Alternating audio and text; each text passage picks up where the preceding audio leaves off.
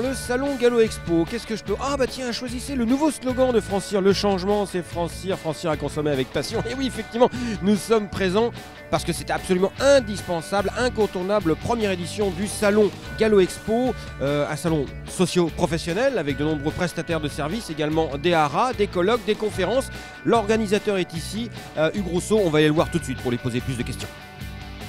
Il a l'habitude d'organiser des salons, notamment le salon des étalons de Vincennes, mais là c'est la première édition du Gallo, Gallo Expo. Alors, D'où l'idée est-elle venue? Alors l'idée est venue effectivement d'un simple constat, c'est que s'agissant de la filière Gallo, il n'existait aucun salon dédié. J'ai donc euh, suggéré, soumis à l'équipe euh, d'Eric euh, et évidemment nous dans la boucle, plutôt, plutôt trotteur, l'idée de monter quelque chose donc au Gallo. J'avais le souvenir à mes débuts d'avoir arpenté les allées de Horse Expo Deauville, qui était observation faite, une excellente idée et qui avait a priori beaucoup d'adeptes. Et je me faisais la remarque que depuis le temps a passé, euh, des initiatives ont été prises plus euh, focalisées sur euh, la promotion des étalons. Mais le galop ne trouve pas un moment aussi stratégique que nous, nous pouvons le trouver en plein hiver avec un public voilà, et, sous les feux de la rampe de la compétition je parle d'Amérique. Au galop, c'est un peu la morte saison.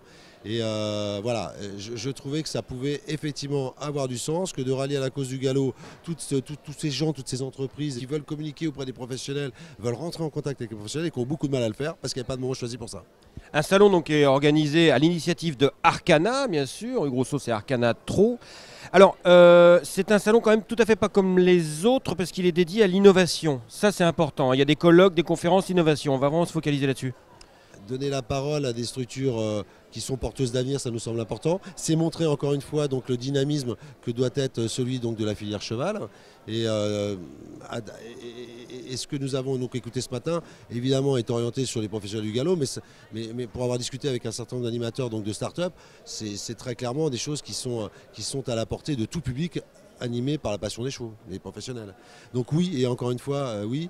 Donc on avait, en fait, on s'était donné deux axes. L'idée, c'était l'innovation, la recherche et, euh, les start-up et, tous les gens qui se donnent du mal pour, faire progresser les méthodes, les outils, et aussi l'emploi.